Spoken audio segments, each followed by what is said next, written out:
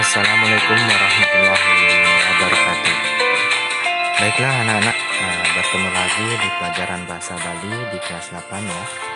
Minggu lalu kalian sudah mempelajari tentang apa?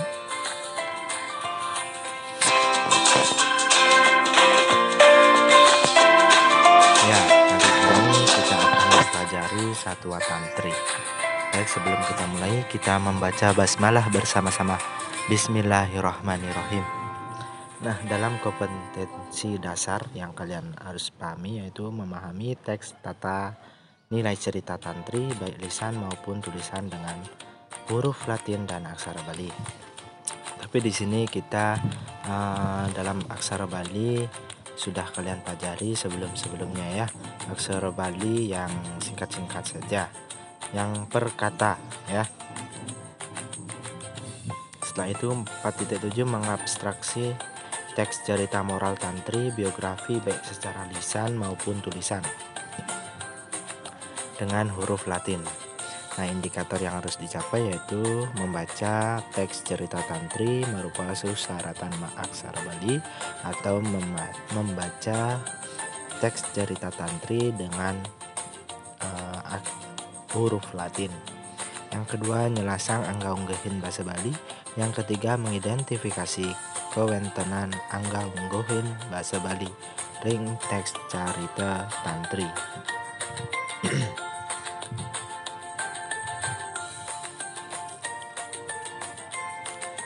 Nah nyelahin indi unsur intrinsik cerpen.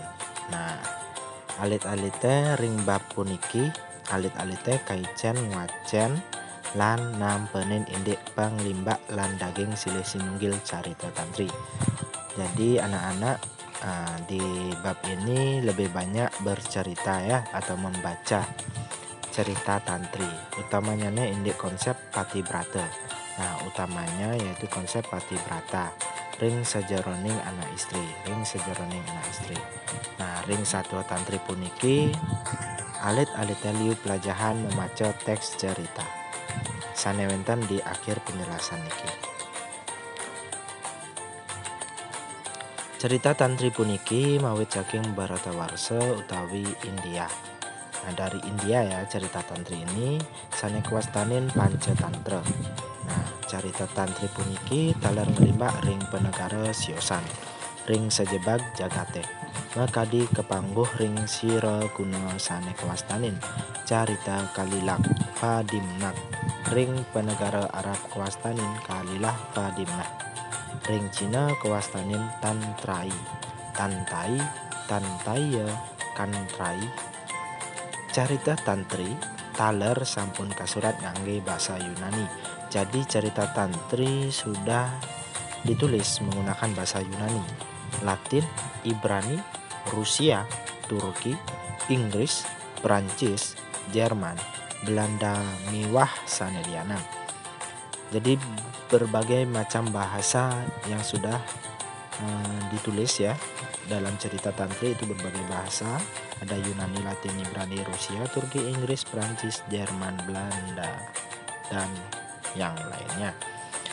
Nah, ring bahasa Melayu cerita tantri kewastanin hikayat panca tandran. Jadi dari uh, untuk bahasa Melayu cerita tantri dinamakan Hikayat Pancatantra. Nah, ngiring sarang-sarang alit-alite wacen wacana satwa tantri. Nah, sesuai dengan apa yang Ustadz infokan tadi ya sebelumnya yaitu anak-anak di sini diharapkan untuk lebih banyak membaca ya. Yaitu di sini kita akan membaca karma pala atau satwa tantri ngwacen wacana. Judulnya itu karma pala.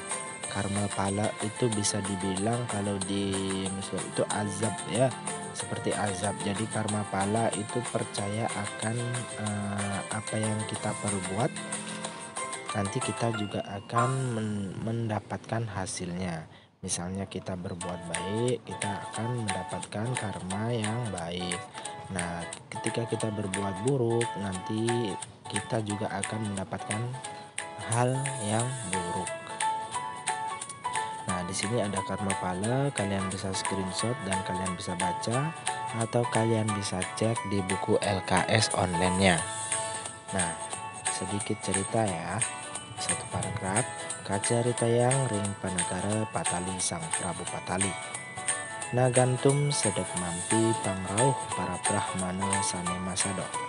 Antuk kuantanan jatno sane ngaryo huru hara ipun mewasta ibatur taskara jat mesane ruak kepisan. Pekaryaannya ne sadina dina wantah memegal lan memaksa. Sane mekade anake sami inguh ring kewentenan nyane ri sampun kau ningin indik kawentenan batur taskara sane setata musak asik jagat. Sang Prabu raris nitahang prajurit pidane mangde ngejuk di Batur Taskar. Nah, itu contoh sedikit contoh ya. Jadi kalian harus baca ya. Ini yang ada di LKS-nya. Untuk selanjut paragraf selanjutnya itu ini ya yang ada di LKS online. Eh, yang maksudnya yang ada di buku paket online-nya. Kalian bisa baca di satu tantri tentang karma bala judulnya. Nah ini yang ada di buku paket online-nya. Nah jika kalian sudah membaca dari cerita satwa tantri tersebut kalian bisa lihat di bagian bawahnya lagi yaitu ada soal Nah, di sini Ustadz berikan soal kepada kalian ya. Tidak banyak, cuma lima. Kalian bisa cek ya.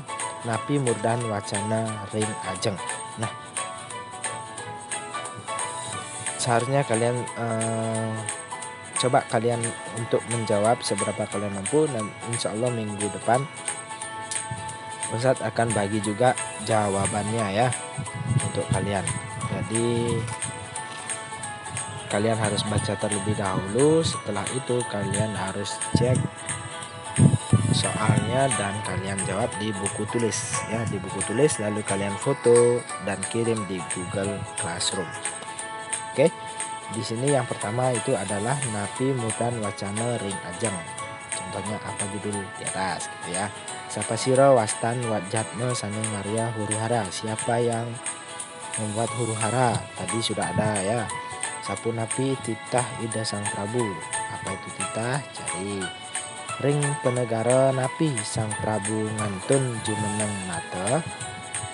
Nah, ring negara napi sang Prabu ngantun jumeneng nata. Nah, kalian cek juga. Yang kelima yaitu sapa siro para ibatur taskara. Ri sampun dadas bagawan. Sapa siro para ibatur taskara ri sampun dadas bagawan. Bisa kalian cek di cerita tadi ya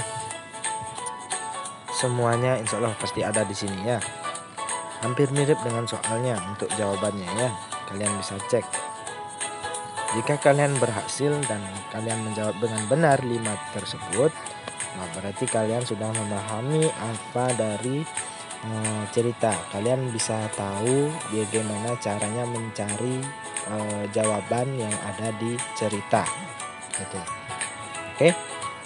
Jadi sekian saja untuk kita hari ini. Semoga bermanfaat bagi kalian. Uh, kita ketemu minggu depan insya Allah ya. Terima kasih semuanya. Wassalamualaikum warahmatullahi wabarakatuh.